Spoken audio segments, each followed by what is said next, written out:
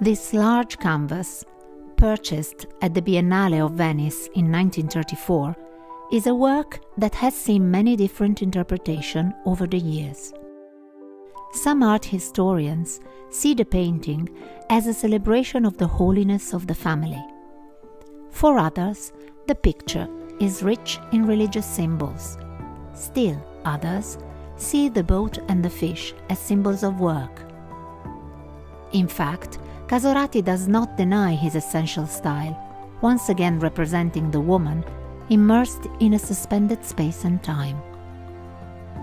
What is certain is that Donne in Barca, Women on a Boat, maintains his aura of an altered mystery.